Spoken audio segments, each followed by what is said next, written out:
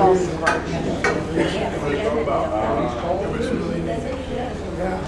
he doing? He's doing very good.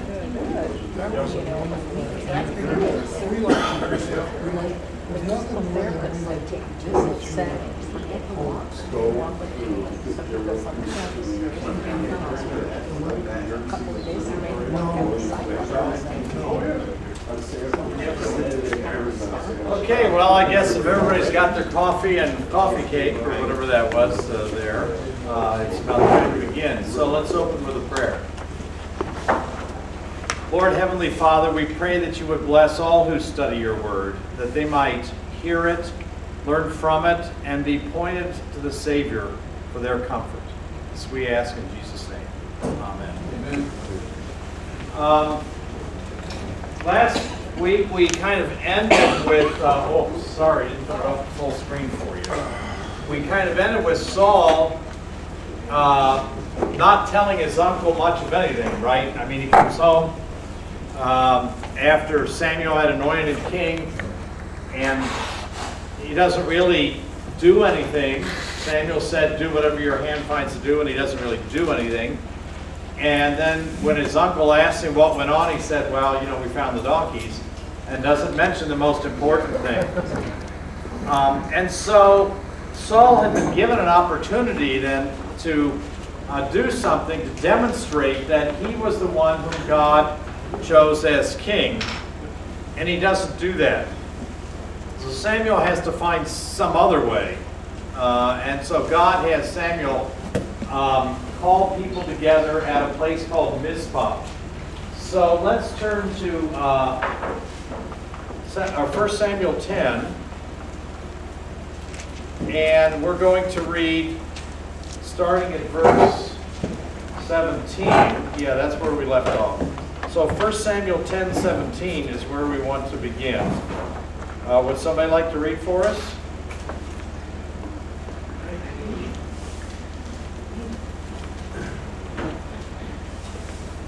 Samuel summoned the people of Israel to the Lord of Mizpah and said to them, This is what the Lord, the God of Israel, says. I brought Israel up out of Egypt and have delivered you from the power of Egypt and all the kingdoms that oppressed you.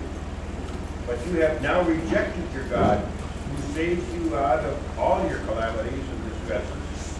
And you have said, No, set up a king over us. So now present yourselves before the Lord by your tribes and clans. That it? No, uh, 27. When Samuel brought all the tribes of Israel near, the tribe of Benjamin was chosen. Then he brought forward the tribe of Benjamin clan by clan, and Matri's clan was chosen. Finally Saul, the son of Kish, was chosen. But when he looked for him, he was not to be found. So they inquired further of the Lord, Has this man come here yet? The Lord said, Yes, he has hidden himself among the baggage. They ran and brought him out, and as he stood among the people, he was a head taller than any of the others. Samuel said to the people, Do you see the man the Lord has chosen? There is no one like him among all the people. And then the people shouted, Long live the king! Samuel explained to the people the regulations of the kingship. He wrote them down on a scroll and deposited them before the Lord. Then Samuel dismissed the people, each to his own home. Saul also went to his home in Gibeon, accompanied by valiant men whose hearts had God had touched. But some troublemakers said, How can this fellow save us? They despised him and brought him no gifts, but Saul kept silent. Okay, so since Saul doesn't make any public things, Samuel has to uh, do this. Um, Why do you think he was like this? I don't know. Um, Really bashful or is he? Yeah, I mean, yeah, maybe he just doesn't want the responsibility. I mean, you know, um, it's probably not an easy job. Uh, It's easy to think of all the things the king gets, but all the things the king is responsible for too. Um, Like the president. Yeah, and, and maybe partly it is, he simply doesn't trust that God can use him. Uh, he seems to be that way at times where, you know, he, I mean, and we're gonna get this contrast between him, uh, and David eventually, who does trust that God can use him wherever God puts him. Uh, so, there may be several things going into this. But they go to Mizpah, Mizpah here, and Notice Samuel has kind of a short rehearsing of their history really quickly. God brought you up out of Egypt, you know, and that, and he he was defending you, but you said, "Give us a king instead." Uh, so he reminds them of how they got to this spot. Um, that they that they have to have this king. Now, choosing by lot um, is in essence allowing God to choose. Proverbs 1633 talks about God controlling the lots. So it's not just kind of a random thing. You know, we think of drawing straws or something as just kind of random. But they're thinking about it as nothing happens without God being in charge.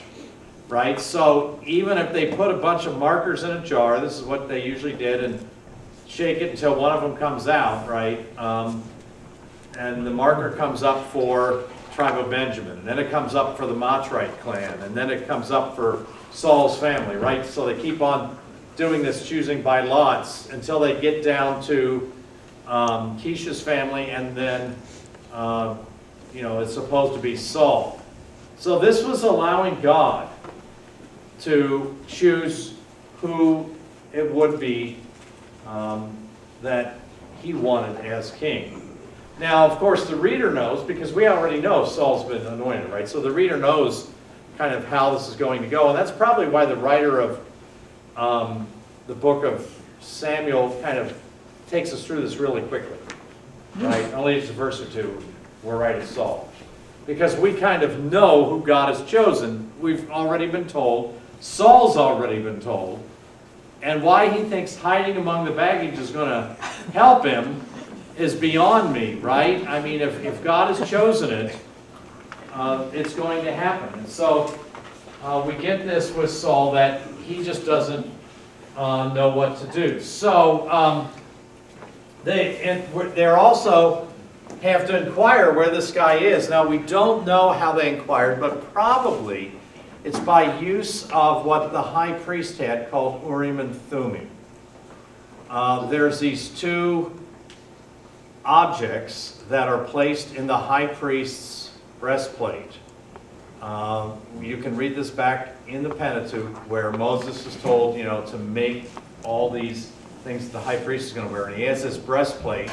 And in it are the Urim and Thummim. And the high priest can use this to inquire of God. Uh, so when it says they inquired of God, that's probably what it's implying. And, and the high priest then acts as kind of an oracle or a prophet uh, for God.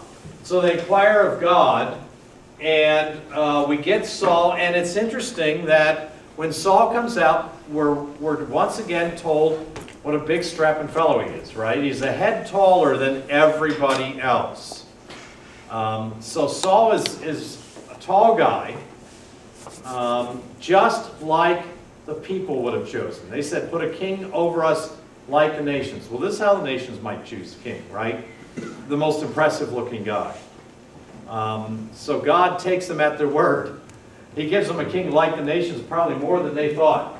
And then we get this interesting thing about, he tells them about the rights of a king. Now, again, we've read about that in chapter 8 about what the king can do. You know, he can take your sons and put them in the army, take your daughters and make them cook for him and all these things, right? And he's going to give some of your property to his servants and, and all this business we read back in chapter 8. So again, the writer doesn't go through exactly what Samuel said again. He just says, he remind them of the rights of the king. Uh, in, in summary fashion, it goes on, because that's something we've read about before. It's back in chapter 8. And he kind of expects his readers to remember what they've read. And then uh, we're told there's a rift among the people. Some people refuse to bring the new king gifts. Now, here's the problem.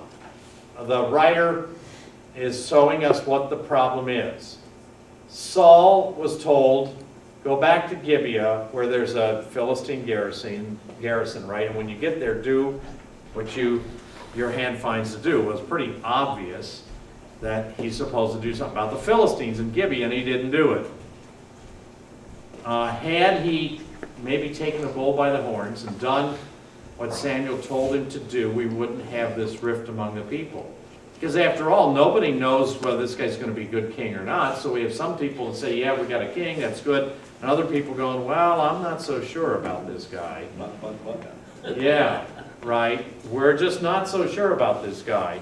And so this rift among the people shows um, exactly what's wrong with Saul not doing as he was instructed. Okay, had he done this and God granted him a victory, it would have been obvious who, who God wanted to be king. And he didn't do it. And so now we have to figure out a way to show people that Saul's the one whose God is with and is going to give them victory over the nations. And that's what the next story is all about with Jabesh Gilead. So they all go home, um, and we get this interesting story about Jabesh Gilead. Now, Jabesh is in Gilead, it's over here, um, across the Jordan River. There's the Sea of Galilee. So, south of the Sea of Galilee, north of the Dead Sea, down here. What, about a third of the way down, or not quite half? Okay, Saul is down here in Gibeah, just north of Jerusalem. This is where uh, Gibeah is. Um, so there's something on these Transjordanian tribes over here, um, where the tribe of Gad is, and, and half the tribe of Manasseh and so forth, um, that causes Saul to have to spring into action. So let's read that next. We'll start at 11.1. It's pretty hard. I think really the last part of 27 goes with uh, chapter 11, but that's the way they divided it. So we'll go to chapter 11 then, and uh, pick it up there with the story of Nahash. Would somebody read one of those, some of those first 15 verses? Nahash the Ammonite went up and besieged Jabesh Gilead. And all the men of Jabesh said to him, Make a treaty with us, and we will be subject to you. But Nahash the Ammonite replied, I will make a treaty with you only on the condition that I gouge out the right eye of every one of you, and so bring disgrace on all Israel. The elders of Jabesh said to him, Give us seven days so we can send messengers throughout Israel. If no one comes to rescue us, we will surrender to you. When the messengers came to Gibeah with Saul and reported these terms to the people, they all wept aloud. Just then Saul was returning from the fields behind his oxen, and he asked, What is wrong with the people? Why are they weeping? Then they repeated to him what the men of Jabesh had said. When Saul heard their words, the Spirit of God came upon him in power, and he burned with anger. He took a pair of oxen, cut them into pieces, and sent the pieces by messengers throughout Israel, proclaiming, This is what will be done to the oxen of anyone who does not follow Saul and Samuel. Then the terror of the Lord fell on the people, and they turned out as one man. When Saul mustered them at Bezek, the men of Israel numbered 300,000, and the men of Judah 30,000. They told the messengers who had come, Say to the men of Jabesh Gilead, By the time the sun is hot tomorrow, you will be delivered. When the messengers went and reported this to the men of Jabesh, they were elated. They said to the Ammonites, Tomorrow we will surrender to you, and you can do to us whatever seems good to you. The next day Saul separated his men into three divisions. During the last watch of the night, they broke into the camp of the Ammonites and slaughtered them until the heat of the day. Those who survived were scattered, so that no two of them were left together. Okay, maybe that's a good place to stop, at the end of 11. Uh, There, so we have this account of Jabesh. Uh, Nahash, he would reign over Ammon until about 998 uh, BC during David's reign. So Nahash is going to be around for a while. Okay, he's going to reign for a long time as king of the Ammonites. Uh, Ammonites lived in what is now modern-day Jordan. Uh, Their capital, uh, is it on the map? Yeah, was uh, Rabbah over here, modern-day Amman, Jordan, and that's why it's called Amman from the Ammonites. Okay? Um, And so, uh, they have come in, they've made this incursion all the way up to Jabesh uh, to conquer it. Um, Interesting name, Nahash, means snake. I can just see him arriving with his motorcycle gang, you know, um, tattoo on his arm. Uh, But he has uh, this army that comes up to Jabesh. Last time they attacked Gilead, they were defeated by Jephthah. So it's not that they haven't done this before. Back in Judges 11, we meet the judge Jephthah who has to um, repulse the Ammonites. Okay? Um, now, there's a special time, tie between Jabesh and the tribe of Benjamin where Saul is. Um, we have this story in Judges uh, 21 uh, about the men of Benjamin and this evil they commit, and the other tribes go to war against them, right? And the tribe of Benjamin's almost wiped out, um, and they need brides. And we're told that many of the brides are supplied by the people of Jabesh. So these, you know, there's a special tie between Saul's tribe, Benjamin, and the people of Jabesh. Um, and so maybe God is playing on this to get Saul into action. Okay, so Nahash shows up. Nahash shows up with this. Um, yeah, so notice. Oops, sorry, I'm going the wrong way. There. Saul was still not acting as king uh, when all this happens. He's out plowing his fields. Okay, he, he still hadn't assumed his responsibilities as king, but we're told God's Spirit changes all this. God's Spirit comes upon Saul. He says, now I have to move into action. And he did not act on his own. Notice it's Saul and Samuel. He's only the king designate at this point, right? I mean, he's been designated as king now publicly, but he hasn't been acting as king. And so um, he hasn't taken any action. Well, now he has to take action, and so we're told it's Saul and Samuel that come together and muster all the people. Okay, so uh, all of this is designed to show the people that Saul is capable of doing this. Maybe even to show Saul himself that he's capable of doing this. So, um, did you notice the men of Judah were counted separately?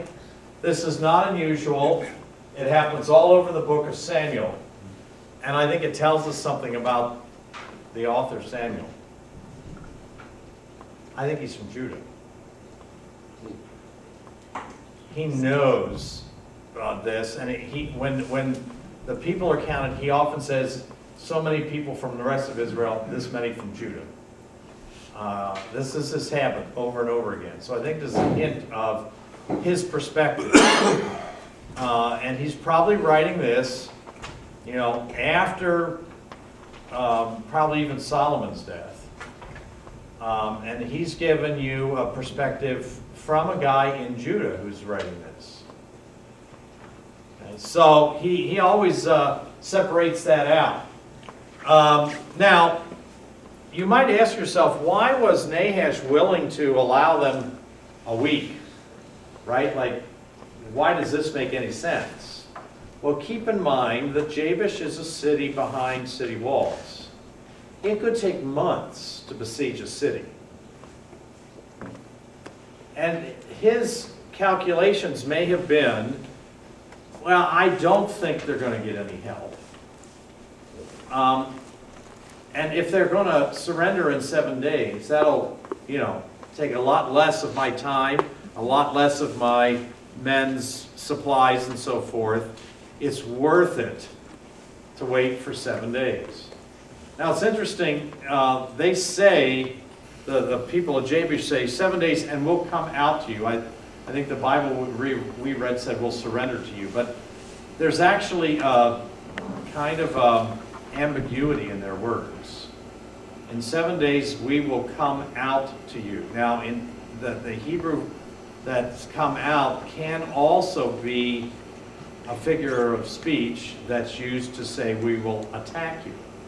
So there, you know, doesn't mean we'll come out and surrender to you or we'll come out and attack you, right? Uh, interesting phraseology that the people of Jabesh use uh, because they're not being real specific.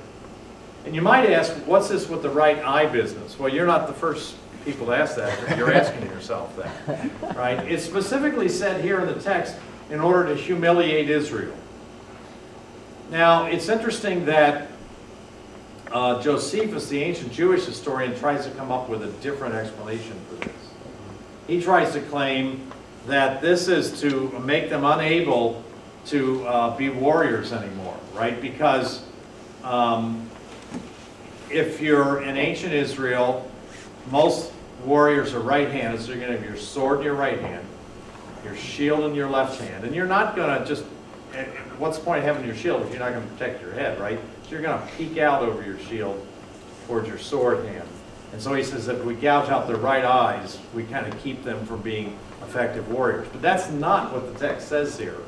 But that's the ancient um, interpretation that Josephus puts on it. And, and maybe that's also the case. But Nahash's stated reason for doing this is he's trying to humiliate the people of Israel. Um, so, whatever the, the reason is, it doesn't sound very pleasant. My cousins were very, not very nice to each other. No, they were not. Yeah, and, and so that, you know, warfare, they did a lot of things in the ancient world that nowadays we label war crimes and, you know, put people on trial. Um, But you have these three related tribes, so well, yeah, and the Ammonites, right, are, and Moabites, right, yeah, the Ammonites are kind of very distant cousins uh, of the, um, of the Israelites. You go back to the book of Genesis and re- read where the the people of Ammon come from. Um, And so they, you know, they decide, we'll, we'll uh, send these messengers, and Saul decides to move into action. And so we're told that the attack came during the morning watch. This is before dawn. This is watch, the watch that leads up to the dawn. Okay? Um, and so uh, the day began at the previous sundown. In it- Israelite thinking, they begin the day at sundown. Okay? Um, and so um, they, in the morning, it's kind of the, the same day as far as they're concerned, right? It's, it's um, the, the watch that began at kind of, know, mid, midnight sometime is ending. Uh, now this, these are the military watches. You would have soldiers on duty, they change shifts, um, and the last watch was the morning watch, uh, as you're waiting for the morning to arrive. And so, before there's full daylight, already Saul attacks. Okay, and um, he, he uh, rallies the people and they defeat Nahash. Um, let's read, we run up to verse 11. Let's read verses 12 through, what, let's say 15. Could somebody read those? Can I, I have a question. So Yeah. what's the significance of Saul cutting up his oxen? Ah, yes, very good. Right? He sends the flesh around to the oxen and says, this is what will happen to your oxen. Right? It's, it's a visible sign. We have this um, expression in English. Somebody got their pound of flesh, right? They got their Revenge? Anybody know where that comes from? It's, Merchant of Venice. well, it is in the Merchants of Venice, but where did Shakespeare get it? And that's what he always sold stuff. Yeah. Merry Old England. Um, when you rebelled against the king, right, you were executed. You can go to the Tower of London, they have a spot there where they show you where people were executed, off with their head, right? Executions were always public, to make a point, right? You mess with the king, it's gonna be off with your head, and everybody gets to see it. But not everybody lives in London, right? So how do you make this point to the people who live out in Shropshire or something? Who knows, right? Well, no, that was, commoners were, were drawn and quartered. uh, But um, the noblemen were executed by, off with their head. What they did is they would take the body of the person and chop it up into chunks and put it in this big jar. Yeah, this is, this is really gruesome. And they would send it around to the outlying districts. They would send these chunks of flesh out to the outlying districts with a herald, with a proclamation, right? And so the herald comes up with this proclamation and says, so-and-so was executed at the order of king for, you know, treason and stuff like that. And here's a pound of his flesh to show you. In case you have any ideas. Right? It's the same thing here with the ox. If you doubt whether Saul is serious, look at this ox. He means what he says. So it's the same type of thing here. It's rather gruesome, but it makes a point. You know? And so, yeah, it's the same old thing where we get this phrase, pound of flesh. So, Merchant of Venice, Shakespeare just used uh, something that the people would have been familiar with. Not exactly uh, pleasant, but I suppose it put the fear of God in people. Glad you're not talking about drawn and quartered. Yeah, pardon? I'm glad you're not gonna describe drawn and quartered. Yeah, drawn and quartered is not, is even worse, so. Okay, so notice, uh, oh, let's read this. Uh, we didn't read this yet. Uh, 12 through 15. People then said to Samuel, Who was it that asked, Shall Saul reign over us? Bring these men to us, and we will put them to death. But Saul said, No one shall be put to death today, for this day the Lord has rescued Israel.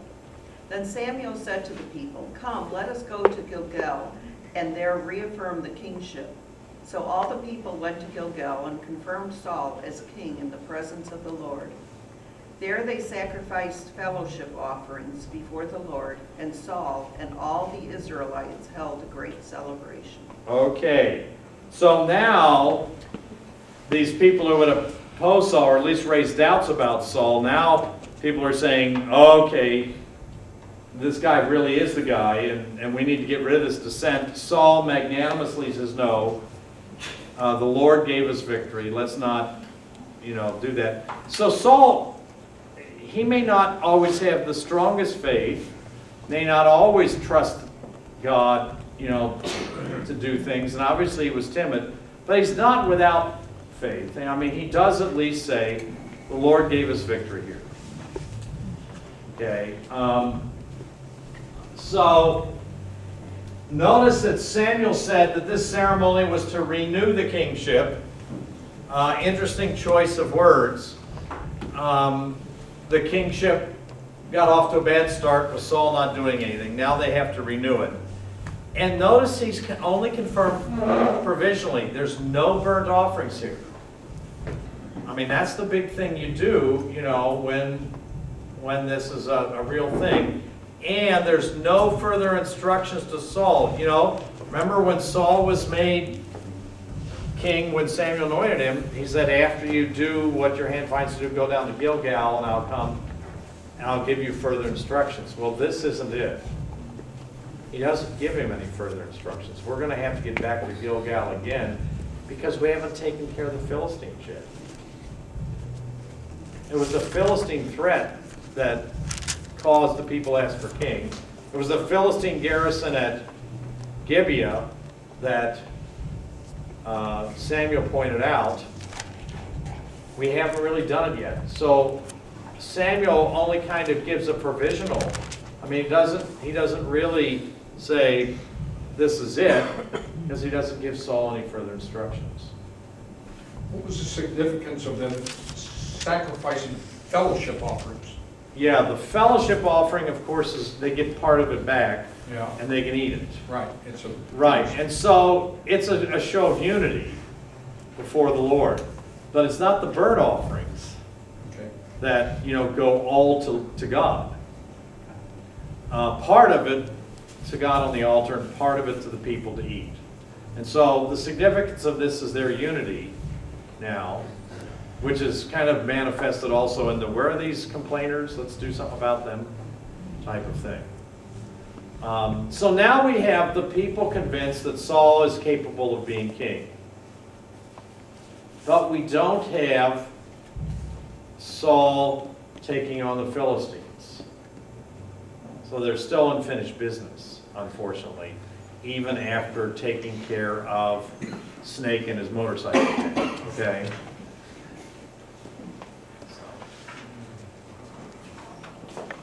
Okay then, um, Saul's warning, or Samuel's warning.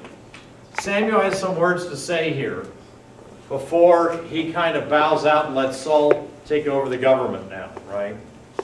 Uh, so let's look at Samuel's warning about the kingship uh, in chapter 12. Somebody, yeah, there, there you go, if you would. Somebody? One, there's a lot to read. Maybe we should, well, there's just a lot to read. We got to read 25 verses, I think, to get the whole thing. Some brave soul want to do that? Okay, if you would.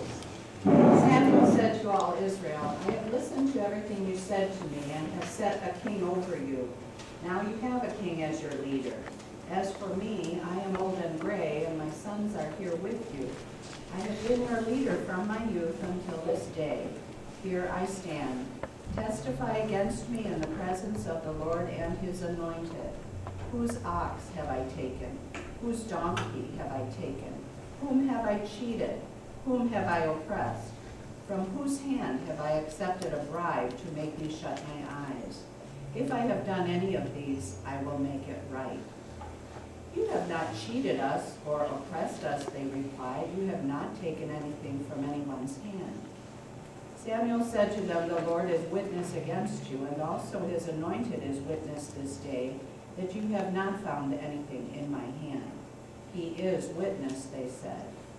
Then Samuel said to the people, It is the Lord who appointed Moses and Aaron and brought your forefathers up out of Egypt. Now then, stand here, because I am going to confront you with evidence before the Lord as to all the righteous acts performed by the Lord for you and your fathers.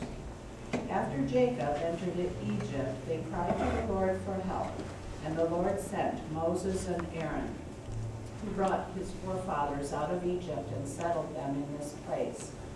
But they forgot the Lord their God, so he sold them into the hand of Sisera, the commander of the army of Hazor, and into the hands of the Philistines and the king of Moab, who fought against them. They cried out to the Lord and said, We have sinned, we have forsaken the Lord and served the Baals and the Ashtoreths. But now deliver us from the hands of our enemies, and we will serve you. Then the Lord sent Jerubbaal and Barak, Jephthah, and Samuel, and he delivered you from the hands of your enemies on every side, so that you lived securely. But when you saw that Nahash, king of the Ammonites, was moving against you, you said to me, No, we want a king to rule over us, even though the Lord your God was your king. Now here is the king you have chosen, the one you asked for. See, the Lord has set a king over you. If you fear the Lord and serve and obey him, and do not rebel against his commands, and if both you and the king who reigns over you follow the Lord your God.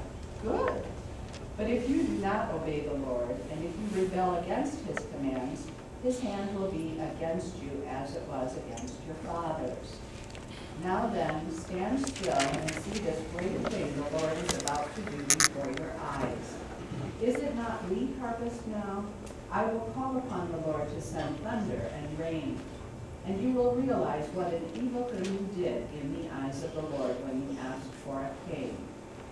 Then Samuel called upon the Lord, and at that same day the Lord sent thunder and rain. So all the people stood in awe of the Lord and of Samuel. The people all said to Samuel, Pray to the Lord your God for your servants so that we will not die, for we have added to all our other sins the evil of asking for a king. Do not be afraid, Samuel replied. You have done all this evil, yet do not turn away from the Lord, but serve the Lord with all your heart. Do not turn away after useless idols. They can do you no good, nor can they rescue you because they are useless. For the sake of his great name, the Lord will not reject his people, because the Lord was pleased to make you his own. As for me, far be it from me that I should sin against the Lord by failing to pray for you. And I will teach you the way that is good and right. But be sure to fear the Lord and serve him faithfully with all your heart. Consider what great things he has done for you. Yet if you persist in doing evil, both you and your king will be swept away. Okay. So we have kind of three sections of Samuel's speech here. The first five verses, Samuel concentrates on whether he had done anything wrong. Samuel was pretty sensitive when they asked for king, right? And he said to God, you know, I'm a little upset about this. And God said, give him a king anyway. They're not rejecting you, they're rejecting me. So Samuel still wants to confirm it's not because I was a bad judge, right? And so they confirm it. They don't say anything about Samuel's sons, who weren't so great, right? We read about that. But they do say to Samuel, no, you, you haven't taken anything from us that you didn't deserve, right? Uh, you, you haven't been corrupt. And so that's the first thing that happens here. The second section then is about Israel's history of abandoning God. And it's interesting the details from the history gives, Moses and Aaron. And then he gives these interesting uh, references to Jerubbaal. Anybody know who that was? We know him better by another name. Gideon? Gideon. Yeah. So Jerubbaal is Gideon. And we have Barak and Samson and Samuel. So he, he names four of the judges going down to him, right? He's the last of the judges. Okay, he doesn't name all of them that we can read about in the book of Judges, but he names uh, at least four, so you get the idea. Right? And so God was with you, but you've abandoned God. Right? And you served Baal and Ashtoreth. Now, Baal is a male god, he's the storm god, he provides fertility for the land by bringing the storms and the rain, right? And um, Ashtoreth, she's female god, god of fertility, goes kind of along with Baal. And oftentimes you read the two of them in tandem in the Old Testament because they're both associated with fertility. All right, so Samuel says, that's what you did. You abandoned God. No wonder you asked for king. You weren't, you weren't following the God who gave you these leaders that he named before, Moses and Aaron and Jerubbaal and, you know, on down to himself. Um, that's part of the problem. And then he gives this interesting demonstration. He says, isn't it the wheat harvest now? Now you got to know a little bit about the, the agricultural cycle here to make sense of this. Um, the wheat harvest, it's at earliest late April. It's probably May in our calendar. Okay. Uh, it's the end of spring, getting into summer, and they're harvesting the wheat. They've already harvested the barley. Uh, in Palestine, they really only have about two seasons, wet and dry. Okay. Um, in the fall, what we would think of as the fall, they plant the wheat and wait for the rain to come during the wet season. The wet season is approximately equal to our late fall and winter. Okay, uh, they don't get snow so much as they get rain. So you plant the wheat in the fall, hoping for the rain, right? So the, the rain is sent, it waters the wheat, it matures, and by late April, early May, you're ready to start harvesting the wheat. You've already harvested the barley, it, it matures first. Okay, so uh, that's about the time of year it is. It's the dry season. And so Samuel calls on God, and God sends thunder. And the people are afraid. Why? Because you never hear thunder this time of year. Not in Palestine. That's back in what we would think of as winter. Okay. What's the point?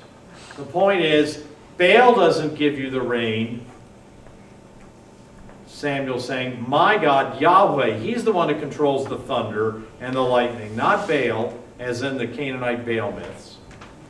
It's not Baal who's riding on the clouds, scattering rain and thundering forth.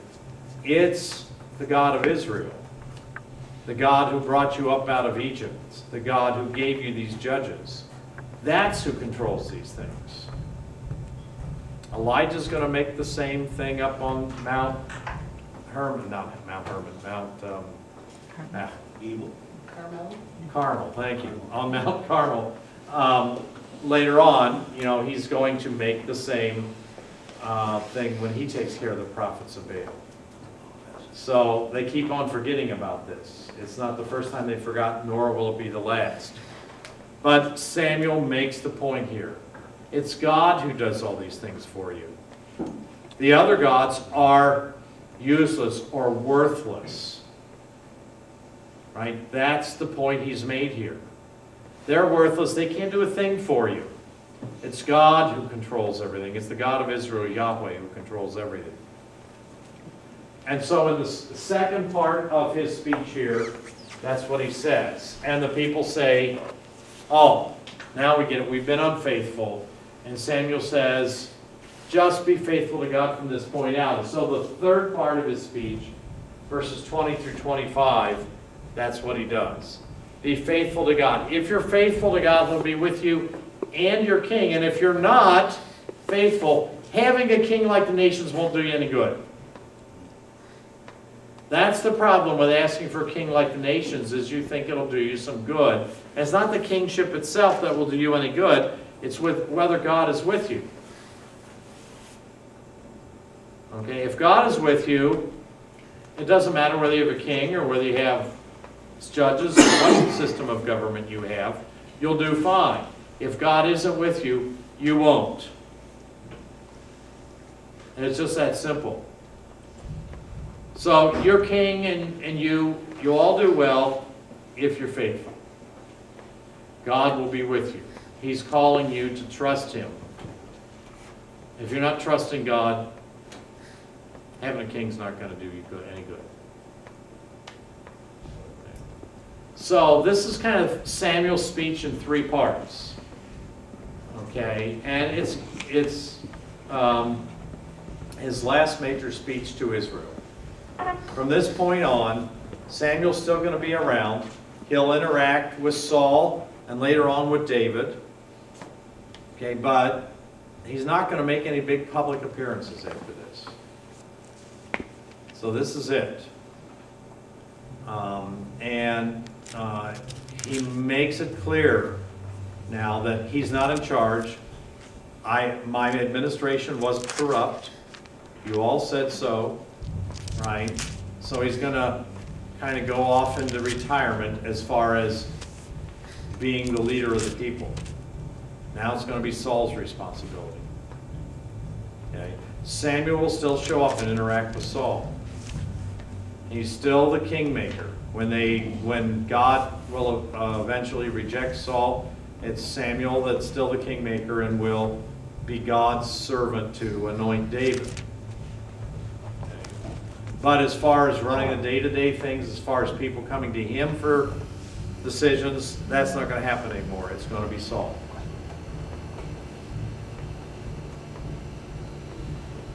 Anything else you want to ask about or comment about before we go on? Have maybe five more minutes, so we can do a little bit more. Okay. Um, Samuel's ministry here, I got a few notes for you. Uh, right, he, he's the one who placed the king over Israel. He says he led Israel till now, that's true.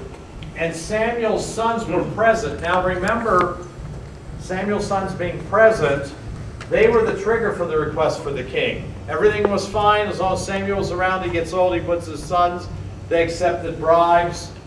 That, but Samuel distances himself here from their corruption. And he's um, anointed. He says, "You're, I'm here, and your anointed is here. You know, the, the Lord's anointed is here." That's a reference to Saul. Saul, well, this is not the last time Saul will be called the Lord's anointed. David calls him this. Okay, that's very, very important. It's saying he's the one God authorized. He's the one that God put in charge. Okay, and Israel's affirmation um, is Samuel's way of removing himself from the reason they asked for king. It might be his sons, but not him, right? Um, the, the review of Israel's history that we had in the middle of uh, Samuel's speech, this is not unusual. Here's other places where we get major reviews of Israel's history in the Bible. Um, and so it's not unusual for uh, leaders to do this and remind the people of what God has done. Um, Moses and Aaron, he points out God appointed Moses and Aaron as a way of saying, I have a right to appoint a king too if I'm God. Okay? He brought them out of Egypt in response to their cry. Uh, Moses made this claim earlier, so Samuel's just bringing up something again that Moses did. And he gives them a king in response to their request. Um, you know, that's what he said in his speech. Israel sins. They forgot the Lord. God sold them to other nations. And then he gave them these sons, of these judges. By the way, God sold Israel to other nations, right? Interesting metaphor. It's like, oh, I don't have any use for this item anymore. I'll sell it and get rid of it, right? That's the, the idiom that Samuel actually uses in the Hebrew here. God sold them into the hands of other nations. Says something about them. Uh, the victory over Nahash, Israel demanded a king. God was their king. The implication is God has now delivered them from the king through Nahash. Just like we saw, that was the point of the Nahash thing. Samuel emphasizes it here.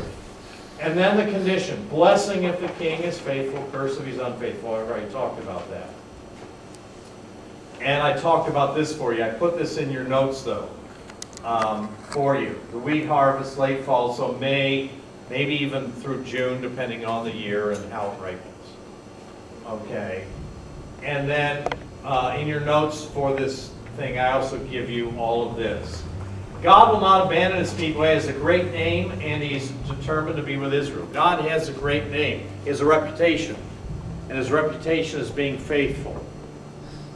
And so he's not going to abandon the people now, despite their abandonment of him. Samuel says that. And he's determined to be with Israel. God makes a determination, and it's not simply for Israel's sake. Why is God determined to be with Israel? Samuel points this out, but he doesn't say why. But why is it? The Savior's going to come. Pardon? The Savior's going to come. That's it. It's for the sake of not just Israel, but for the whole world. Because the Savior's going to come from Israel. So God's saying, Samuel's saying, God's determined to be with you. It's not because Israel's so great. It's because of his love for the entire world. That's his plan. And he's not giving up on his plan, even though Israel's not doing the best thing. Is he done with Israel now, Pastor? No, uh, he's he's not done with Israel in that you know in, even in the New Testament, Paul says God still has a love for them, and He wants them to be saved like everybody else. Um, and so Paul the other Saul in the Bible, right? The Apostle Paul says, you know, I pray for my people Israel, I mourn for them, but God's not done with them. He still wants to call people from Israel. Who would have succeeded uh, Samuel if David had not been, or if Saul had not been made king? Who knows? Would he go to the sons or would there Yeah. be another judge? Yeah, uh, and in the book of Judges, it seems that God raises up judges as needed and usually after the death of another judge. So it's hard to tell because Samuel hadn't died yet, right? So it would not have automatically gone to the sons. No. Yeah, and that's maybe part of the problem is Samuel, as I pointed out when we first had him doing the sons, he's the first judge that tries to make this hereditary. Uh, he's, he's the first one who, that we know of that appointed his sons. Um, we have ju- other judges who have sons, but they don't appoint them to be judges. Um, you know, Gideon has sons, and that becomes a problem with one of his sons tries to make himself king. But Gideon actually vocally told the people, I reject the idea of a kingship, we're not going to put my sons in charge. Um, so maybe part of the problem here is, and Samuel can't see it, is that he tried to make it hereditary. Yeah. But we don't know who it would have been. Um, God, it seems al- almost, I mean, I'm sure God has a plan and knows these things, but from a human perspective, seems that these judges were kind of ad hoc. Okay, for just looking at it uh, from a human perspective. Um, I'm sure God had, had a plan, but, you know. Hard to see it sometimes. It's hard to see when you're, you're, you know, just around doing it. So, well, maybe that's a good place to end. Those are the notes I, I gave you on, in the slides about uh, Samuel's speech. I oh, a little bit more about it, but you can read that yourself when we talk about it. So, next time we'll take up, I have an- another handout for you. Uh, Judy's got it, so we'll have the, this time I'll, I'll tell you, we need it, so we don't get caught, because I forgot to tell you last time. So next week, we'll have a new handout uh, for you, and we'll go on uh, to further things. Hopefully, we'll, we'll work through that between now and the end of February. Okay, well, we're, out- according to the clock, we're about out of time, it's quarter till.